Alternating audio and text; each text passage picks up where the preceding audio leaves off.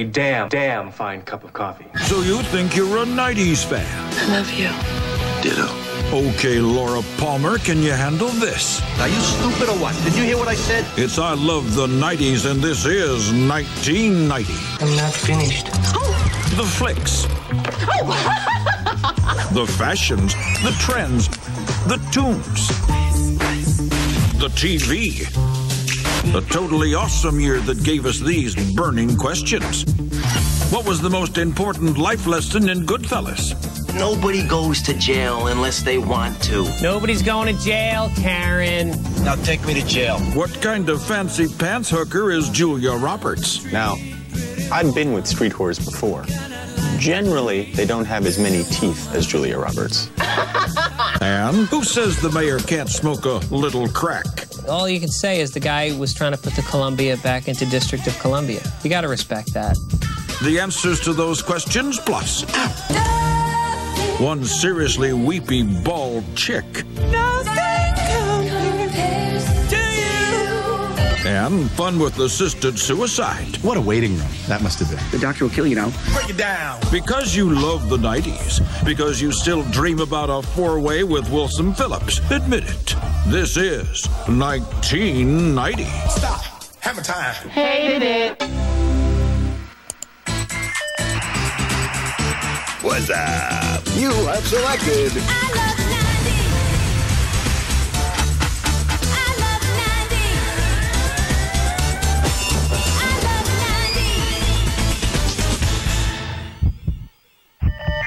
You're on my fax. Well, that's one I haven't been on before. What was the pitch for Pretty Woman? Okay, it's like uh, Cinderella, but with a hookup.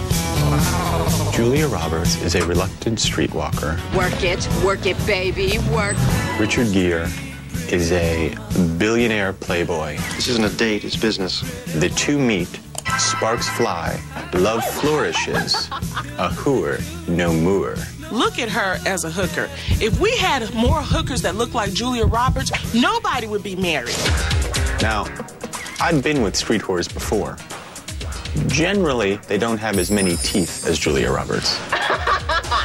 but, on the other hand, Julia Roberts cost $20 million. I can get her for three bucks around the corner. 2000 3,000. Done. Holy sh! The prostitute's rule is you can't let the guy kiss you on the mouth. You know, because you might fall in love with him. I don't kiss on the mouth. Neither do I. She had morals as a hooker. I could appreciate that. And then she kissed him on the mouth and she gave it up for free. I like when she when she's trying on all the outfits, you know, because I just like to see Julia Roberts in different outfits. That's why I watch the Golden Globes every year.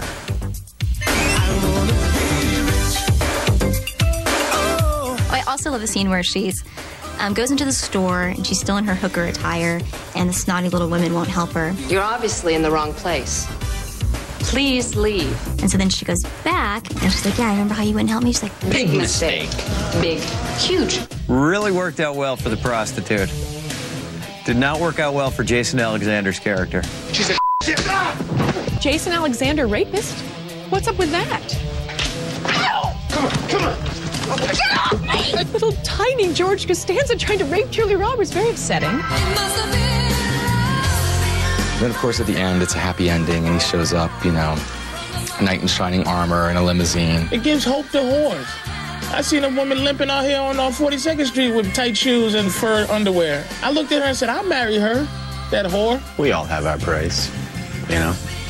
I know I do. Six bucks.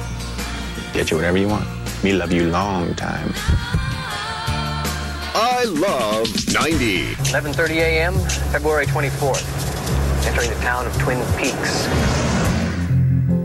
There weren't too many shows that I would not miss ever in my life, but uh, Twin Peaks is definitely one of them. One day, my log will have something to say about this. The Twin Peaks is a television program about a mystery. And the mystery is what the hell is up with this show? There was a fish in the percolator. They brought in an odd FBI investigator played by uh, Kyle MacLachlan to figure out who killed Laura Palmer. Laura Palmer. Who killed uh, Laura Palmer? I always said I think OJ. Did.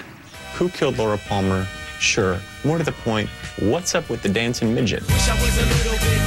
And you know full well that David Lynch was going, how about a midget? Be hilarious. People will think it's cool. They filmed the dwarf speaking backwards, and then they replayed it forwards, and then they put subtitles underneath it. Why, we from the birds sing the Presti song. And him just just moving is awesome. Woo! That was hard sleeping that night. Damn good coffee. And hot. Damn good cup of coffee. Damn fine cup of coffee. I think Twin Peaks brought back coffee and pie. Two more pieces of this incredible pie. It started a coffee and pie craze throughout the U.S. They got a cherry pie there that'll kill you. After a while, you sort of watch and you go, what the f is this about? But people loved it because they thought it was real smart. Really, it was just confusing. VidPick. It's been seven hours and 15 days. Nothing compares to you. Uh, the Prince song. Since you took your love away. Betty's he's mad he gave that one up. That was a big hit. I could eat my dinner in a But nothing, I said nothing can take away the blues. A lot of Sinead. I'm crying. Crying and crying. I know that living with your baby was sometimes hard. He just kind of wanted to cheer up. Lighten up, Sinead. But I'm willing to give it another try.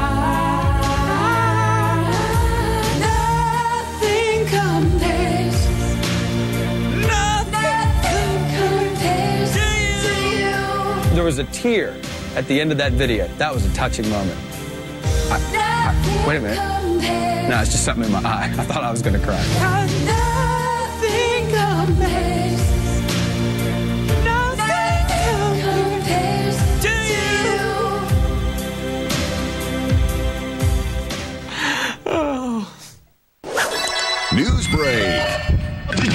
Cocaine in that hotel, Mr. Mayor? What were you doing in the hotel, Mr. Mayor? Marion Barry, my hero.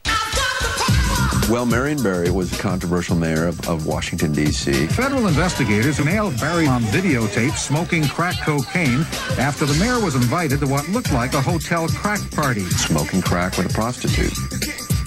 Happened.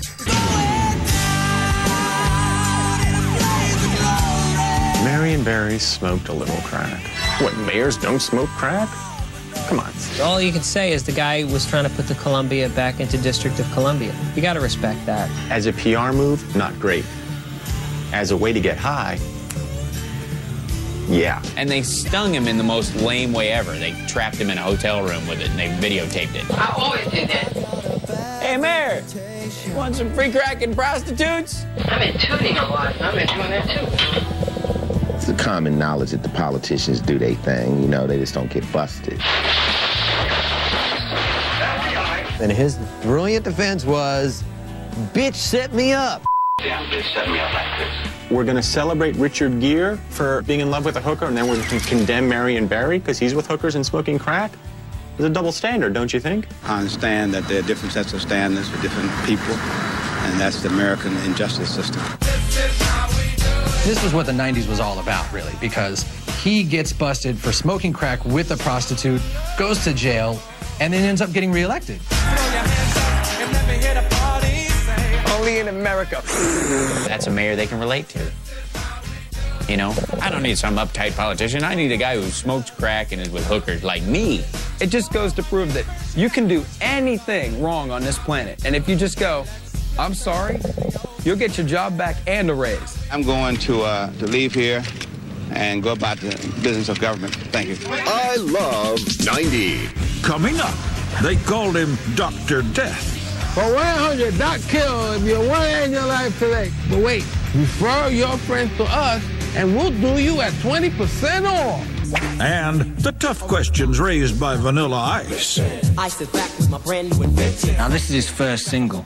How can he be back with a brand new mission? You think, well, this guy's a liar, and then you don't believe a word he says from then on. Word to your mother. Plus, a winning combo. Whoopi's body inhabited by Mr. Patrick Swayze. You don't just get into Whoopi Goldberg. and you get all up in Whoopi Goldberg, and there's a distinction there. Don't you ever do that to me again? Next on I Love the 90s 1990. But first, Michael Ian Black, uncut and uncensored on Marion Barry. You don't think Giuliani was smoking a little crack? No.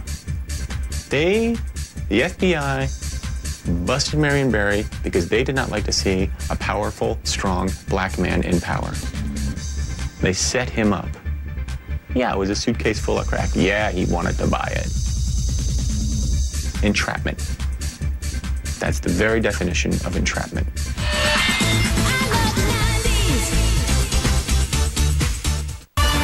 Dance songs of 90. Break it down. 1990, baby, was you there?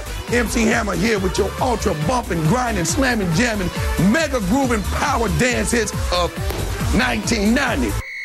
Break it down. Pump up the jam by Technotronic.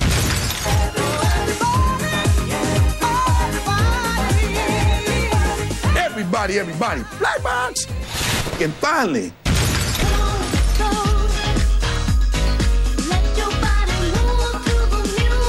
Vogue by Madonna. You can't touch this. The dance hits of the 90s, too. Legit. To crib.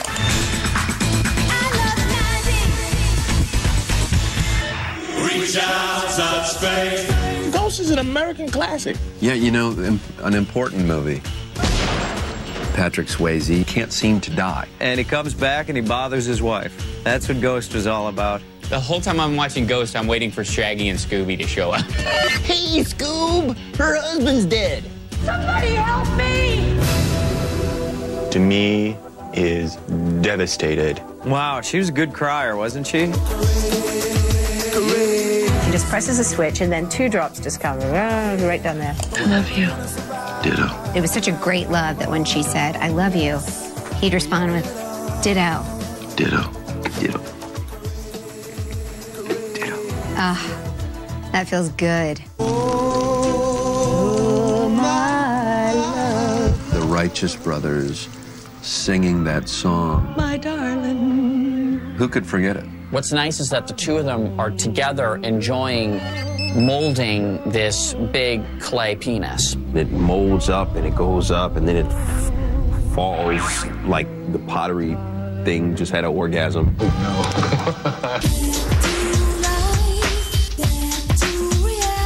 Patrick Swayze embodies Whoopi Goldberg, which kind of takes cross dressing to a new level. It's transgender, cross race, bisexual, pootie tang. You don't just get into Whoopi Goldberg. I mean, you get all up in Whoopi Goldberg, and there's a distinction there. Don't you ever do that to me again? It culminates with um, Patrick Swayze killing Tony Goldwyn in a hideous, like, demonish style death. Tony Goldwyn then gets pulled down to the depths of hell by these really cheesy animated uh, ghost demon guys that make these really, really like. Oh, whoa. They kind of dropped the ball on that one. I guess they spent all their budget on the ceramic scene. The lesson of Ghost is don't die, live. I was gonna die, but I decided against it because of Ghost. News break. Today, Dr. Jack Kevorkian took the stand in his fight for the right to use his suicide machine. Jack Kevorkian. Oh, Dr. Death, Dr. D. He's killing people! Why did you go ahead and develop the device? It's necessary. There's a great demand for it. He was a doctor from Royal Oak, Michigan, who began to euthanize patients with terminal illnesses, and he came up with a suicide machine. The Kevorkian machine looked like Mousetrap. Had all these contraptions, and you press a button, and like a ball falls, and then it hits a log, and the lady dies. I'm the only one willing to do it. Medical community to me is irrelevant. Here's the blue one, and here's the yellow. This one's gonna kill you. What a waiting room that must have been. The doctor will kill you now. Do you think insurance covered Dr. Kevorkian? For 100, Doc Kill, if you're one day in your life today. Here I am, trying to do a new service for them, for patients of theirs who, rec- who are begging for death. But wait, refer your friends to us, and we'll do you at 20% off. Well, here's the thing that's cool about Jack Kevorkian is that he sat, didn't he like sit on the on the stand and say to people, "Absolutely, I killed him." Mr. Kevorkian, how do you plead? He just looked like the devil. And now he's locked up. Poor little Kevorkian. I think he did good work. Uh, I mean, I don't, I know if I agree with the work, but I mean, he got the job done.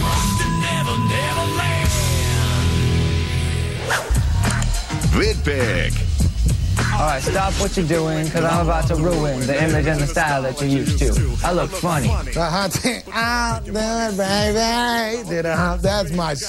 It was like the perfect party song. I see the bottle of Hennessy you got on your shelf, so just let me introduce myself. My name is Humpty, pronounced with an umpty. Shock G was the producer and the MC of Digital Underground, and his alter ego was Humpty Hump. It was a groove that was so great it almost made you forget the uh, the big fake nose that the fellow was wearing. I like to rhyme, I like my beats funky, I'm spunky, I like mold meal lumpy, I'm sick with this. How did he wear this? He's ridiculous. It makes it hard to breathe. Come here, yeah, you ticklish, yeah, I called you fat, look, at me, I'm skinny. He was very nasal, you know? He's very nasal. I once got busy in a Burger King bathroom, I'm crazy. How classless you got to be to get busy in a Burger King bathroom? Like you're going to take your date to a Burger King bathroom. You couldn't take her to Denny's? The Humpty dance is your chance the hump. Cha-cha-cha. Oh, do me, baby. I do the Humpty Hump. All I remember, like the dance was just like.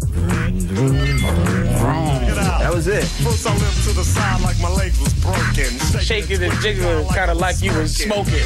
And when they say smoking, it's like uh, crack. It's crackheads. You know. Puerto Ricans. Do the Humpty Hump. Samoans do the Humpty Hump. Mexicans.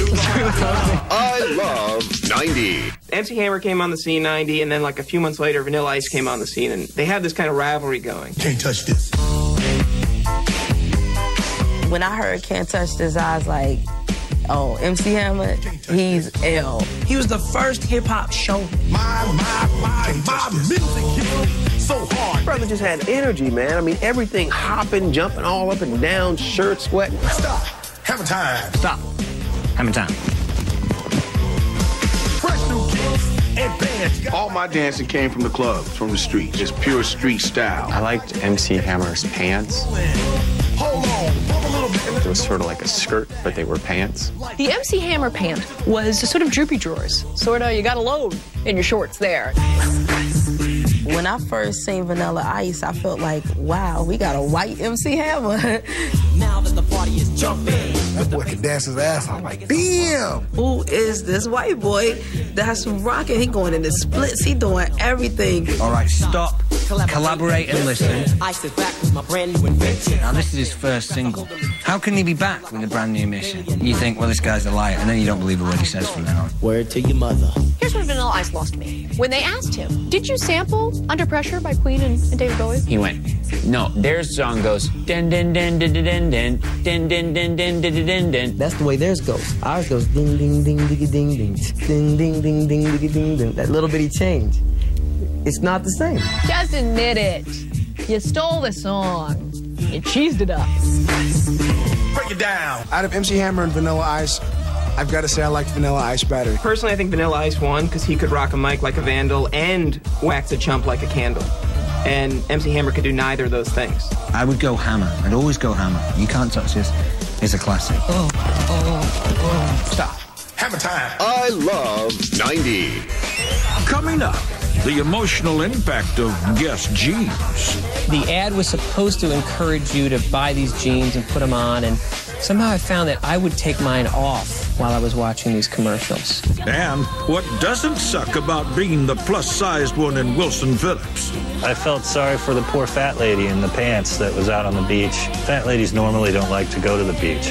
Plus, a real steamy way to help the environment. We must do it for the beat and dance because we must save the rainforest, and the only thing that will do it is our groins. Next on I Love the 90s 1990. But first, Dirty Alternative Rocker of 90. Liz Phair here, bringing you the dirty alternative rockers of 1990. Black Francis, the dirty pixie rocker. Jane's Addiction, the dirty stealing rockers. And Mike Patton, it's so groovy, it's out of sight. The dirty rap rocker. Those are the fucking run guys of 1990. Gotta love them, gotta wash them, can't take them home to mom.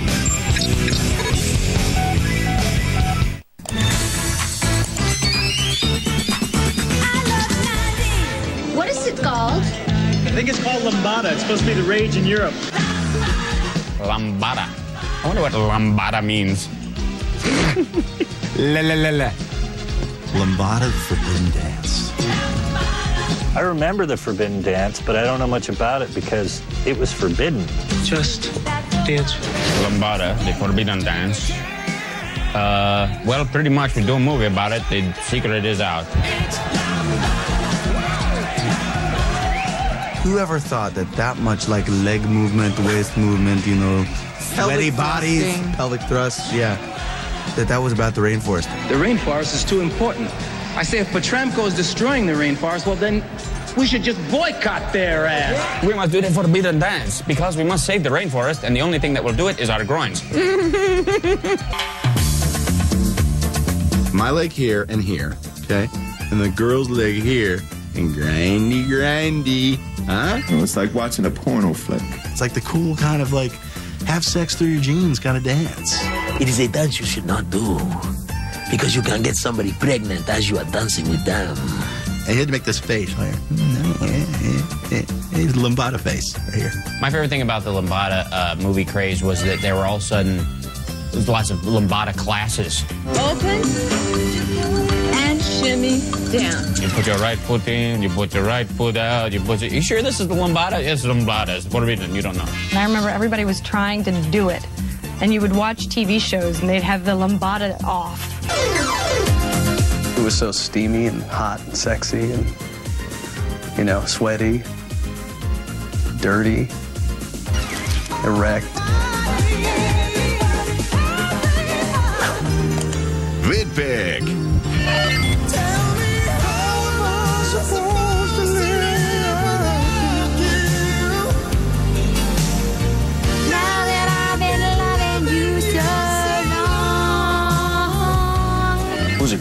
I mean, you got to give props where props are due, and, and Michael Bolton can sing.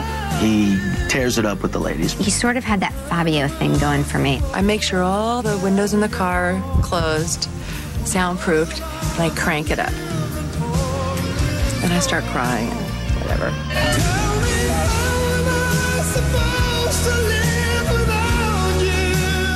What is Michael Bolton's hair? Kind of a cross between a mane and a mullet. You know, I like the hair, the long curly hair. I mean, I didn't have a poster of him. Please. It was more like a skullet. Committed to the hair thing and the ringlets. You know, I think that's sexy. And Barry Manilow, too. All that I'm for is gone. Sweet. Every once in a while, along comes an old lady who captures America's heart. I've fallen and I can't get up. I've fallen and I can't get up was really the where's the beef of the 90s. It was one of those things that suddenly everyone thought was just so funny and everyone had to quote it. I've fallen and I can't get up. Please, someone call 911. Because that's not what you say when you fall. You should be like, damn it! Ouch! Help! That was funny as hell. it's still funny. In and I can't get up. Well, bitch, try. I don't know what it is about pissed off, helpless old ladies that really people really enjoy, but there's a market out there for it. If we could have assisted that octogenarian, we would have. That woman very possibly could have fallen and couldn't get up and died, and still people think it's really funny. Actually, that makes it more funny to me. VidPick. This is the music video featuring the girl looking up and dancing. The Deee-Lite Grooves in the Heart video, I believe, was nothing more than like a, a green screen. I liked that song. I don't know. It reminded me of a big hangover or something. yes. The red haired girl and then the two weird guys. Both of those guys could be on Queer Eye for the Straight Guy. Bootsy Collins, too. Yeah, he was in the band. Watch out. Still rock that doo doo doo doo doo doo doo. When the bass line comes on, everybody gets on the floor. Get busted. Do, do, do, do, do, do, do, do, do, do. Boom, boom, boom, boom, boom, boom, boom, boom, boom. Take it, Hal.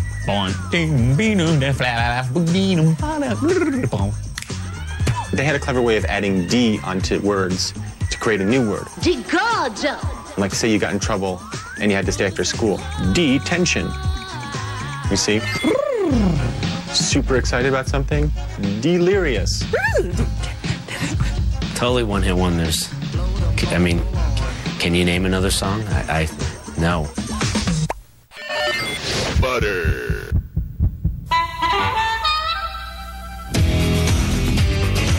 Jeans, uh, big, big, big in the 90s. Did I have a pair of Guess jeans? I had a pair of Guess jeans, little triangle thing. That's all I used to wear in high school. Every girl wanted Guess jeans. They make your butt look so good. Do we wear Guess jeans? No, but I got into I got into some.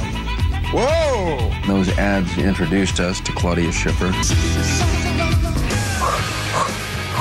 She's like this, and she's like this, and she's like this, and then she's got like these teeth that are so big. The reincarnation of Brigitte Bardot, you know, she's so hot. Um, a little Germanic for my tastes. I believed that when I put them on, I became, a little piece of me became Claudia Schiffer. The ad was supposed to encourage you to buy these jeans and put them on, and somehow I found that I would take mine off while I was watching these commercials. So I don't think it was a very good ad. For guys hot for Claudia Schiffer, yeah, just raggedy Ann of cotton tits. Yes. Who else did Guess? Busty, fabulous, ample, Anna Nicole. Wow, I thought I masturbated a lot to the last girl. This next girl, I wouldn't show up for school some days. I love 90. Coming up, the decade's first great coke and violence flick. There a problem, officer? Plus, don't throw on those snap bracelets unless you've established your safety word. It's for preteens who are into pre-bondage. I like it. Next on I Love the 90s 1990. But first, Hotties of 90. Hi, I'm Michael Bolton, here to lend my time, love, and tenderness to the hotties of 1990. Christina Applegate, the Bundy's barely legal hottie. Robin Givens, head of the class and former Mrs. Tyson hottie. And Nicole Kidman, she's a Sheila hottie.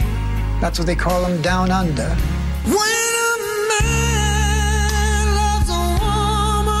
The hotties of 1990. Smoking.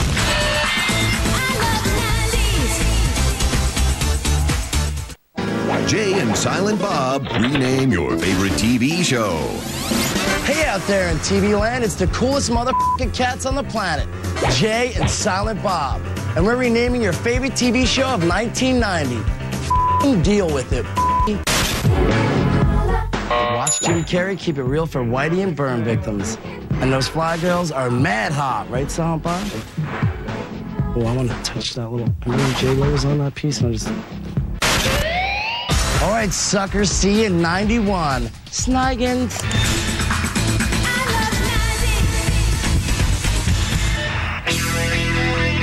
Dances with Wolves was interesting for me because I didn't like the movie. Then I realized I was just jealous.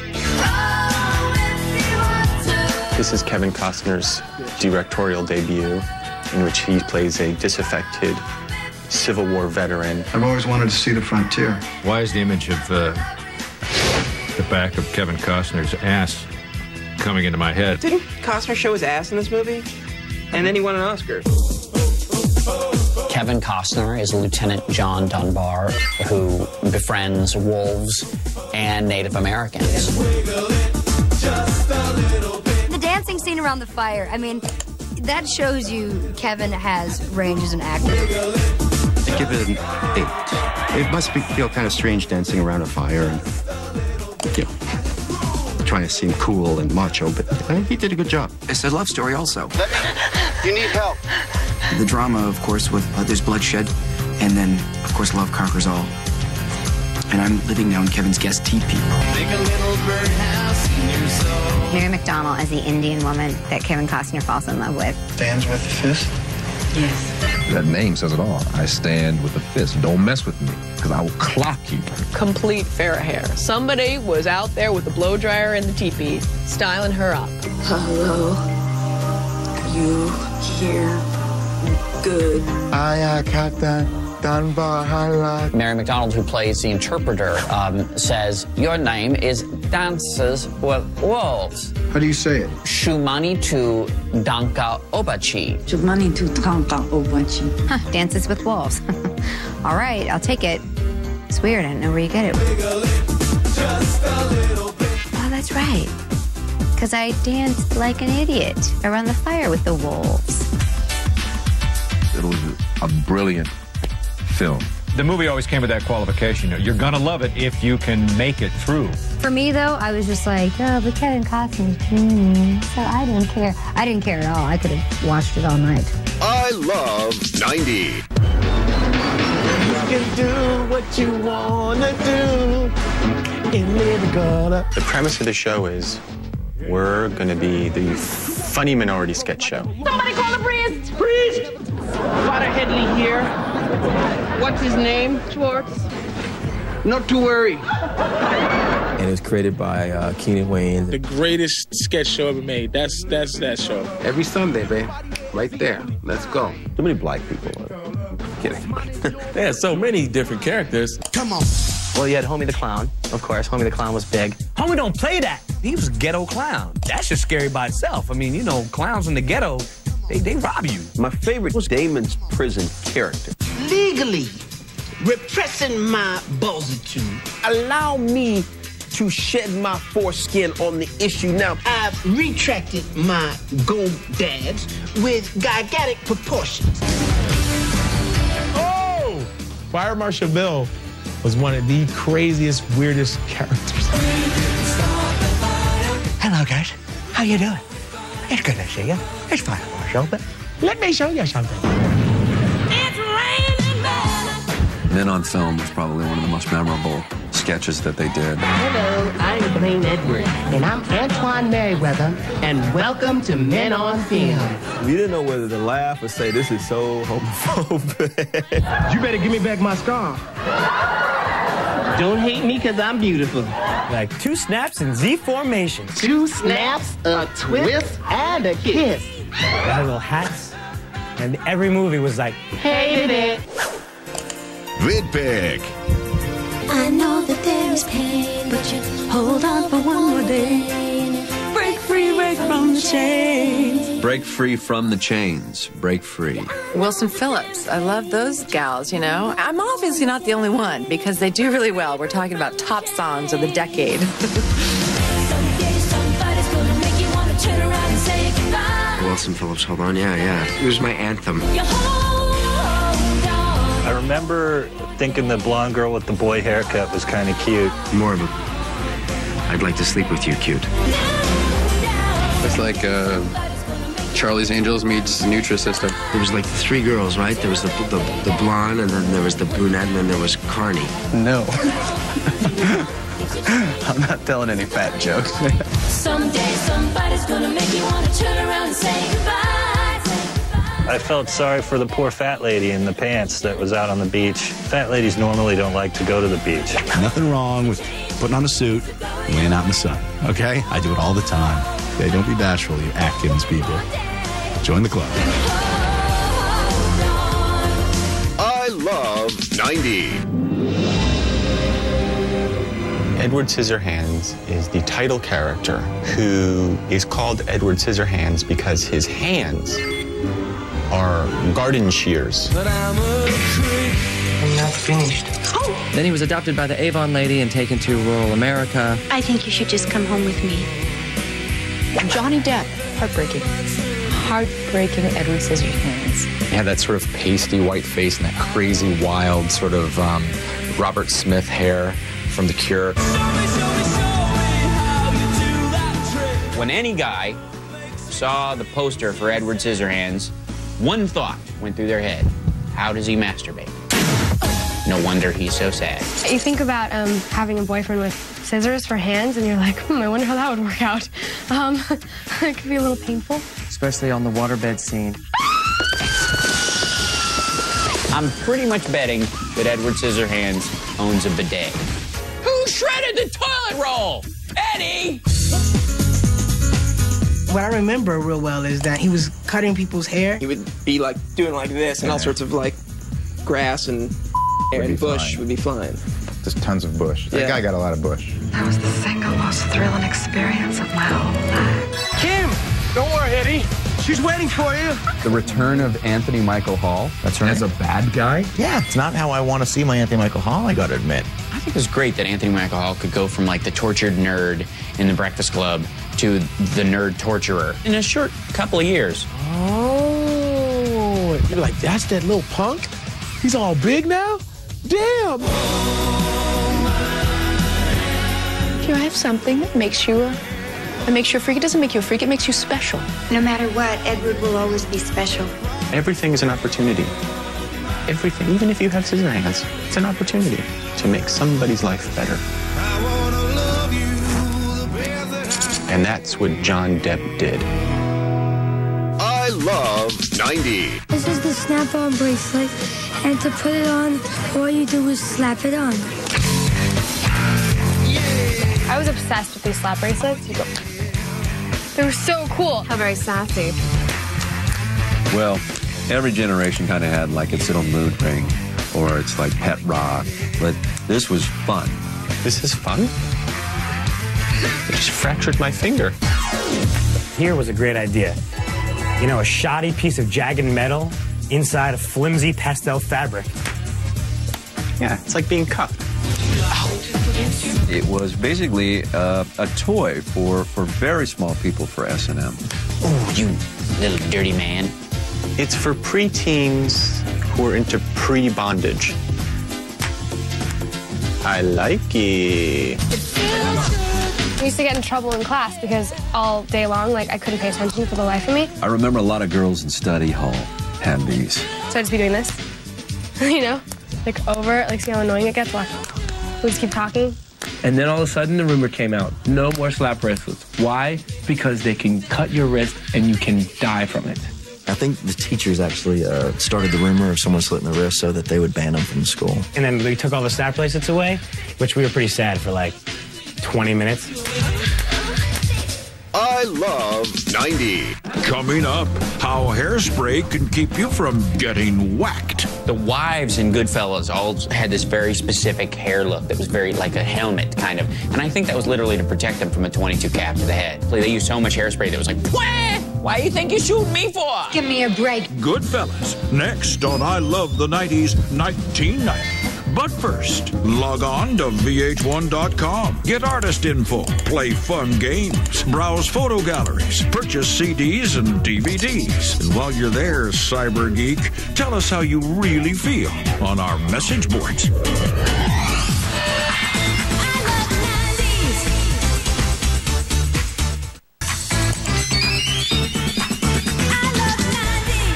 As far back as I can remember, I always wanted to be a gangster.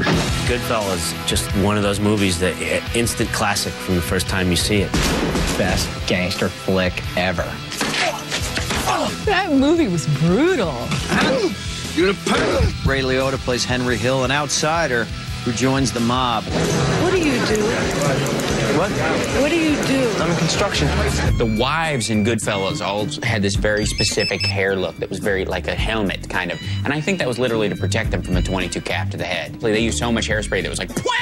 Why do you think you shooting me for? Give me a break. Are you stupid or what? Did you hear what I said? Jimmy Conway, Robert De Niro. Didn't I tell you not to buy nothing? Huh? What's the matter with you? To me, the most impressive thing is that Joe Pesci, who stands about five foot five, maybe, could be so intimidating, scary. Everybody's gonna do the funny line, right? Funny out like I'm a clown. Funny? What do you mean funny? Funny? What do I amuse you? Scariest character in Goodfellas? Cocaine. It's great to be a mob guy, but not a mob guy on drugs. That could really screw you up. Crap, the FBI is right outside our door. Let's try and hide 400 kilos of cocaine quickly and look nonchalant. There a problem, officer? My favorite shot in the whole movie, camera angle low. His tongue is like out like this. He's like, why is it things like that stay with us? God forbid, what would happen if you had to go to prison? Nobody goes to jail unless they want to. Nobody's going to jail, Karen. Now take me to jail. I remember that there was one scene where they all went to jail, but they all lived like kings. Damn, it feels good to be a gangster. Who would have thought prison could be so great? You know, slicing garlic so thin that when you put it in the pan, it just melts. Prison. If you're Paul Sorvino, pretty sweet.